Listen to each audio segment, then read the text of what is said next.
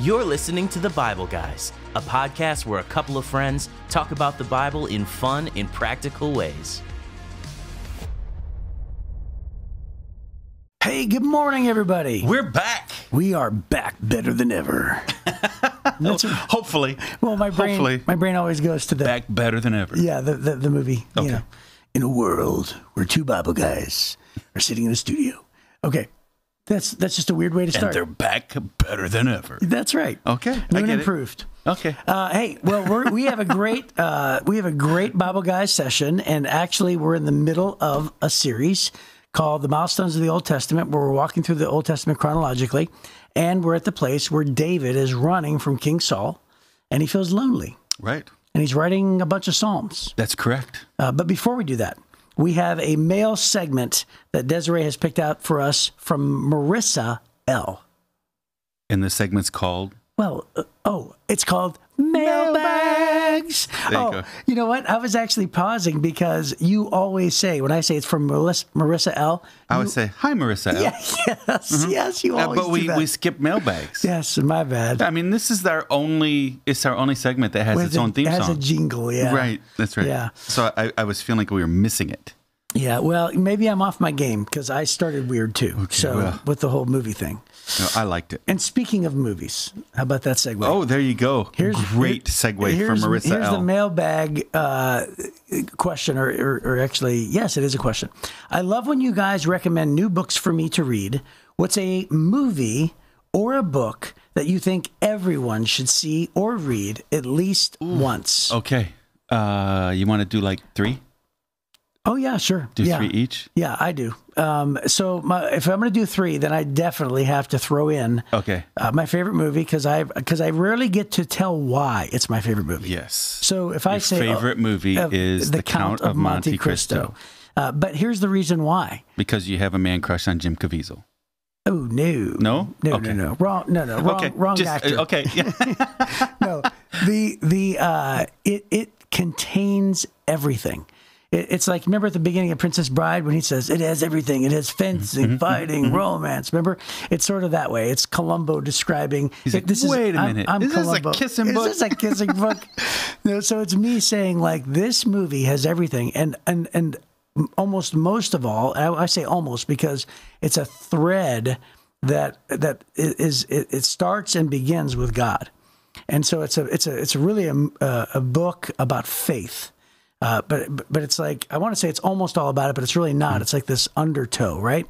And then it has everything else. It has all the adventure, everything else. I think it is unbelievable. The story is beautiful, and it has everything that a guy wants, which is like adventure, and it's got like you know, like he gets all this money, and then revenge, and battling, and all these kind of things, plots, and intelligent twists, and all this kind of stuff. Um, but I would also say I'm going to give you two more answers. I guess I got two more. Um, okay, I'm going to do this. we could go every other one. Oh yeah, go ahead. Is, does that sound good? I'm off my game today. Does, does, does every other one sound good, or do you It want to go back to back to back? It does. No, I, I'm off my game. Go ahead. No, You you're go. not off your game. You're on it. No, you are on it. You are so excited to pass on this Yes, go ahead. wisdom. Uh, I, I was going to say so. If you're doing favorites, my favorite books, uh, novels uh, of any kind, would be The Lord of the Rings, The Hobbit, all, Yeah. all those things. Uh, but I think maybe more approachable if you haven't read that kind of stuff, because those are real slogs. You got to really work through them. Uh, so maybe more approachable would be. Uh, I really loved The Chronicles of Narnia I knew you were going to say by that. I knew you were going to say that. uh, C.S. Lewis. Yes. Which, by the way, they were writing at the same time. They were inventing that whole genre. Yeah. And they were buddies. They met in a pub every week in a writers group to talk about how to invent this Huh. this kind of thing. Yeah. I didn't know that. And that's uh, C.S. Lewis. I think is one who led uh, J.R.R. Tolkien to Christ. Oh, well, Is, one or the other. Wh- whichever one was Christian first led the other one to Christ while they were writing their books. Yeah. Oh. That is awesome. neat. Yeah. Okay. That's really neat. all right. Here's my second one, and I'm going. Or had a- a heavy influence on coming to faith. Yeah. uh, I'm going on a limb on this one. Mm-hmm. Um, but she said a movie or book that everyone should see or read at least At once. least once. Yes. And I'm going to actually say that everybody should see a classic war movie. I can't decide whether it should be like Pearl Harbor or or it should be like uh, Saving Private Ryan, but I'm going to go with Saving Private Ryan. And here's the reason why. Because it seems to me that uh, people have forgotten the price paid for the American flag. Oh wow, yeah. It, it seems it seems to me like uh, the value of patriot patriotism uh, has is is is almost like somehow something to be embarrassed of. You know, it seems like on social media in some cases, and I think this next generation, especially, and I'm not going to get into politics here, but I just want to say that uh, America is a great country, and uh, if if everybody were to take a moment and watch a movie like Saving Private Ryan, you could at least walk away appreciating what has been handed to you, The sacrifice. the sacrifice made Yeah. for you. Wow, that's great. Really, really good. Okay. Uh, I was going to say uh, the next one, I think, of all of the leadership or business books or self help books or, you know, make yourself better, grab life by the horns kind of books, I think Stephen Covey's book, Seven Habits of Highly Effective People, probably is is the one that's had the biggest impact on me. Um, uh, the seven habits are be proactive, right? So do something. Right. Uh, man have a have a a predisposition towards action. Don't don't wait you know do something. Uh, begin with the end in mind. You always have to try to figure out if i do this what's going to happen? That's really important. Not what you're dreaming would happen but really knowing what's going to happen. There's some work in, involved with that. Uh, putting the first things first it's all about priorities. Duties never conflict. I think that that's incredibly important and difficult to really master uh, and then think win-win most people are always thinking, uh, they're- th- especially in our culture today, that if somebody wins, somebody else has to lose, Right. right? Uh, I, I was in a conversation uh, not long ago with some young young adults, and they were complaining that Elon Musk had just made sixteen billion dollars that week, and uh, I was like, "Why is that a problem?" Right. Right? And and they were like, "Ah, you know, nobody needs sixty. I said, well, it don't matter. I said, did, did his ability to make sixteen billion dollars affect your ability to make a thousand? Right. The, the, the, his what he did has no effect on your ability to do a thing, Eh, but we tend to think zero sum. Somebody wins, somebody else has to lose, as opposed to, or in a negotiation, I have to dominate you and win, uh, as opposed to working for a win-win. I think that's incredibly important. And then uh, uh, seek first to understand, then to be understood. Oh, that's a great I one. think is incredibly important. And then the idea of synergy, uh, combining strengths for teamwork, I think is really important. And then sharpening the saw. That means just keep getting better and better. Those those seven habits, I think, uh, if you never read another self help or leadership book, those seven things could help you just launch you into success. Agreed. Yeah. And All right. then uh, I- I'm going to say my last uh, book is, or my last movie. I'm going to choose a movie. Uh, surprise. Uh, and it's uh, extremely underrated. But have you ever seen Castaway with Tom Hanks? Oh yeah, yeah. Okay, so people somehow think that that's a movie about survival on an island. It's not.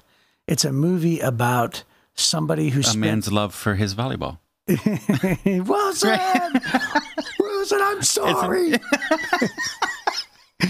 Isn't that what it is? Isn't No, it? no, no. Oh, okay. It's a Maybe I movie- missed the point. It's a movie about someone who uh, needs to take advantage of the moments that are right in front of him. It's a movie about time, taking advantage of Uh-huh, time. Because you know, before you know, he like like he couldn't bring himself to actually say the words to the guy about his dying wife, and at the end, he looks him right in the eye and he's like, "I'm so sorry for the passing of your wife, Mary." He, it, you can see that like he's now learned after being on the island for four years to uh, you know actually take advantage of every moment that's in front of him.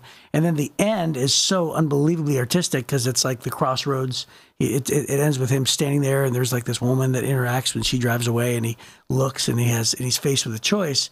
And so then it fades away and then you realize wait a minute this whole movie is about that. It's so beautiful but actually it's just a reminder for you and i to take advantage of every moment that we've been given. Okay. Wow. And then I would say uh, I have I have two. It depends. Uh, I would say if you only had one apart from the Bible, one book to really help you wrap your head around what does it mean to be a follower of Jesus. Right. I'm not saying preparing for ministry or whatever, but just what does it mean to be a follower of Jesus? I think one of the best books for me personally was Rick Warren's Purpose Driven Life book. oh sure I, I think it's it's Yeah, just a it's a forty day opus on what it means to be a follower of Jesus, and it starts off the very first sentence says it's not about you. So there's that. If on the other side you're trying to figure out, you know, you're struggling with the ideas of faith, I think Lee Strobel's books, the whole series, The Case for, the case for Christ, the case for the resurrection, the case for Creator, uh, the case for the real Jesus. Uh, all of the Lee Strobel's books, the case for, uh, they just had a huge impact on me too. Hmm, so I, awesome. I, slipped in two yeah. answers there at the end. Yeah, yeah, you did. Yeah, great. Way, way to go. Well, really good question, Marissa. That's great. And thank you, Marissa, for even caring about our opinions and for writing in. And we encourage everybody to uh, give us an email, Yeah. shoot, shoot us a text, uh, you know, uh, uh, comment on YouTube, do something where you can interact or correspond with us so that we can consider perhaps putting your comments or questions on future segments. So, uh, King David, well, yeah, he's not king yet. He's still running from Saul, as far as we know. So, the, the provenance for um, Psalm 27, what are the exact circumstances it was written around? We're not exactly sure. Nope. But these are the kinds of Psalms. He wrote a bunch of Psalms during the time when he was running from Saul that sound similar to this one. Right. And so, So this sort of represents a category of Psalms. Yes, because he, he wrote different. Uh, David was a it- really an amazing guy. So he's a warrior. I mean, he cuts the head off of a giant. Right. Uh, so there's that. Uh, and the other side, he's this incredible musician, and uh, he writes these psalms. They're really they're songs that are prayers. The prayers that are are then put to music, and uh, he writes a, over a hundred of them. Yeah. And um, and so he's this artistic warrior. He's kind of this warrior poet kind of a guy. Did you ever hear the phrase, I'm a lover, not a fighter? Yeah. David was both. He was both. Yeah. He was both. Yes. Um, and uh, sort of what we would think of today, maybe as a Renaissance man, right? Like, Yeah. like a Da Vinci kind of guy. He was into science and art and all these kinds of things. Well, for him, it was it was war, uh, leadership. He was a great leader when he finally became king, and then uh, uh, an artist. And so here he is, Well, he was pour- a great leader as a teenager. pouring out, yeah, pouring out his heart to God, and uh, really, really a beautiful uh, writing. He says this in Psalm 27: "The Lord is my light and my salvation, so why should I be afraid? The Lord is my fortress, protecting me from danger. So why should I tremble? When evil people come to devour me, when my enemies and foes attack me, they will stumble and fall." Though a mighty army surrounds me, my heart will not be afraid. Even if I am attacked, I will remain confident. The one thing I ask of the Lord, the thing I seek most, is to live in the house of the Lord all the days of my life, delighting in the Lord's perfections and meditating in his temple. For he will conceal me there when troubles come, and he will hide me in his sanctuary. He will place me out of reach on a high rock. Then I will hold my head high above my enemies who surround me. At his sanctuary I will offer sacrifices with shouts of joy, singing and praising Lord with music. Hear me as I pray, O Lord. Be merciful and answer me. My heart has heard you say, Come and talk with me. And my heart responds, Lord, I'm coming. Do not turn your back on me. Do not reject your servant in anger. You've always been my helper. Don't leave me now. Don't, don't abandon me, O God of my salvation. Even if my father and mother abandon me, the Lord will hold me close. Teach me how to live, O Lord. Lead me along the right path, for my enemies are waiting for me. Do not let me fall into their hands, for they accuse me of things I've never done. With every breath, they've threatened me with violence. Yet I'm confident I will see the Lord's goodness while I'm here in the land of the living. Wait patiently for the Lord. Be brave and courageous. Yes, wait patiently for the Lord. that last that last part, he's writing to himself.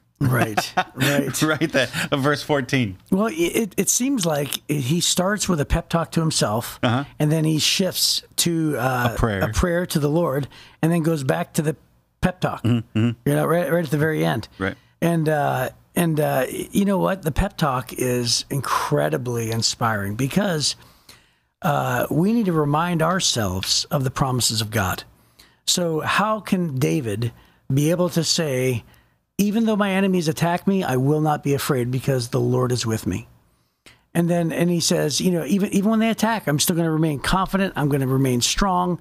Uh, the Lord is my fortress. Why should I be afraid? Because He's with me. Uh, and, and so, you know, a mighty army surrounds me. Well, you and I may never uh, be the, uh, the what, what is it? The main the main uh, object of hunting of an army, and the whole, whole army's looking for him. Right. So what I'm trying to say is like y- you may not be the focus of an entire army, right? A manhunt. a manhunt. Yeah, Yeah, yeah. the focus of a manhunt. Uh, however, you know, you can compare that to almost anything. It seems like, you know, have you ever felt like uh, you're at work and, and it seems like because the leadership has turned against you, all of a sudden, you know, you've got a bad rap, and all of a sudden it's like me against the world at work for some reason until you finally nestle your way out of there, hopefully. Or, you know, or maybe perhaps a friend group. Have you ever been on the receiving end of all of a sudden, like, how did, how in the world did all these friends turn against me or my reputation at school for students or, you know, perhaps like an adult friend group, whatever it is? You know, the army can represent anything from big to small. But, you know, here he is saying, hey, I'm an island, I'm a one man band, but I'm not because God is with me. And if God's with me, I need to pep talk myself by saying, I won't be afraid of anything. Yeah. Yeah. It's great. That's so good. You know, one thing just really strikes me is, and there's a, a note for verse seven, but um, in the Life Application Study Bible that kind of spurred this thought. this isn't the first psalm David wrote, right? So he's not just suddenly going, "Oh man, I've got troubles. God, help me, help me, help me." Mm-hmm. Right? He's not he's not suddenly starting a relationship with God because he's in trouble. He's leaning into a relationship he's been investing in for a long time. Mm-hmm. So when he says there in um, verse 4, the one thing I ask the Lord, the thing I seek the most is to live in the house of the Lord all the days of my life. He's not saying to start living in the house of the Lord. No, he's talking about ending. Right. He's talking about faithfulness. Yeah, and and, and he's saying I, I want I want every day of my life to be centered on God and yeah. God's ways. I'm not just suddenly looking for God to be my good luck charm to get me out of this trouble. I'm not suddenly looking for somebody to bail me out. He's saying uh, when the struggles of life happen, which by the way, for every one of us, we have struggles, right? Every one of us, we get bad news. We we we have uh, hurts happen. We have betrayals happen uh, every one of us have those things happen. But David's not saying, I'm looking for an answer now. David's leaning into the answer he already found. Right. He's leaning into this relationship that he has with God. And this is one of the reasons why it's so important for you to spend time every day in God's Word. It's why it's so important for you to choose to share what you're learning in God's Word with other people. It's why it's so important to invest in godly relationships and to spend daily time in God's Word, like you are right now with the the, the podcast and and and all these things. Is that you grow day by day by day, and you just keep filling that reservoir. You just keep filling that reservoir, and then when the troubles come, you have something substantial to lean into right? Yeah. And so uh, I just told you before that we started shooting that. Uh, uh, by the way, let me let me say this before I forget. Yeah. Uh, let me let me say that uh, in verse number eight, the reason why we know that uh, David has not just begun his relationship is because when he prays to the Lord, he says, "You have always been my helper." Yes. You've always been my helper. That's what he tells God, mm-hmm. right? Mm-hmm. So, so there's there's the indicator right there. What, right? what verse was that? verse number nine. Verse nine. Verse yeah, nine. You've always been my helper. Yep. And so, um, don't leave me now. Right. So, uh, what I was going to say is, I, I, told you before we started shooting the podcast that uh, I ran into a couple last night at a restaurant uh, who just went through a major tragedy. Yeah. A loss uh, of a of a newborn baby, and uh, one of the most difficult things to ever go through, yeah. right, in terms of a funeral, and um, and uh, and had they not had a grounded faith before this tragedy came upon them, uh, who, uh, how, how, do you think you know they would react? Right. So I was with a guy, a friend of mine, and uh, he had met them for the first time. They had walked, you know, he had well, he it was him. He walked over, and he said hi and recognized both of us and said, "Hey, you're my pastor." I was telling my cousin, "You're my pastor," and so uh, anyway, we talked for you know 15 minutes or so. Well, anyway, he leaves, and the guy with me looks at me and says you do realize the statistic that 80% of marriages do not make it after a tragedy like that. 80%. And in yet, never in my mind did I ever doubt that they would make it because of their faith. Yeah. Right. So, so you know, their their faith is strong. So even when I went in there and and prayed with them at the hospital after right after it happened, uh, you know, he says, no, he said, we don't we don't doubt God. We don't we don't question Him. We don't, you know, it's more about facing like I can't believe this has happened to us, and how are we going to deal with it? Mm-hmm. Uh, but it was just amazing to me, and that's what that's what sort of came well, to they, they have a real anchor. David talks about this refuge, right? That's a, a one of the ways you can think of a refuge is a is a, like a fortress on top of a hill, or a or a safe harbor that's outside mm. of the prevailing winds of the storm. Those kinds of things. David uses many of those kind of analogies to talk about his relationship with God. Right? He, you're my shield, you're my refuge, you're my safe harbor, uh, you're my protection, and it's you know he like you you pointed out there, you've always been my helper. Yeah. this is a long term relationship. A lot of times people feel like you know, oh man, me reading my Bible today, it's just uh, I don't even want to take in, I don't even want to listen to what God has to say today. I don't want any of those words. I'm too depressed.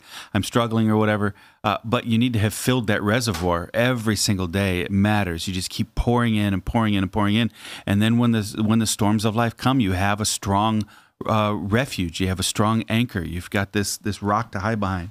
And then I think it's amazing. So he he on the front end he's saying, God, I need you to protect me. Right. Right. So in verse one, the Lord is my fortress, protecting me from danger.